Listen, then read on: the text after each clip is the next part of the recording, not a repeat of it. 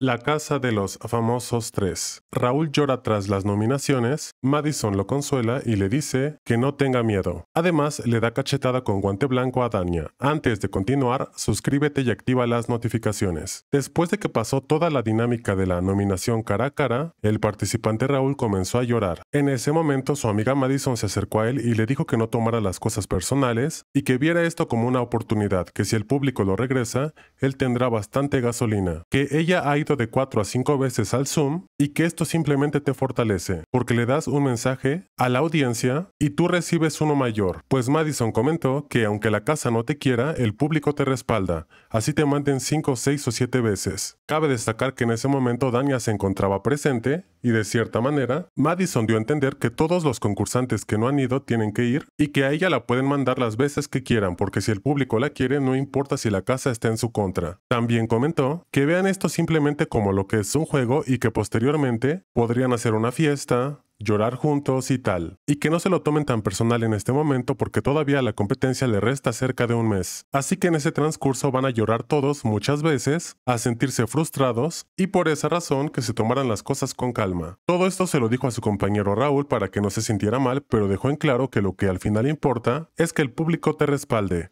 Así que dime, ¿tú qué opinas de todo esto? Suscríbete y activa las notificaciones.